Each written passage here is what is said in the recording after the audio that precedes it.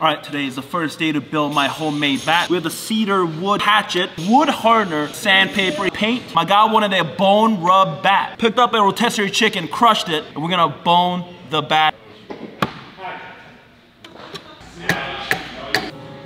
People want to know what has a better chance at getting a home run, the pile of wood or your bat? Day one. A lot of work done. All right, hey, day two. All right, next up we have the chicken bone. Oh, look at this. It's hardening. Let's go. My guy Matt wanted a, uh red bat, so with the barn red here, because it's bone rub, I'm gonna put it like right here.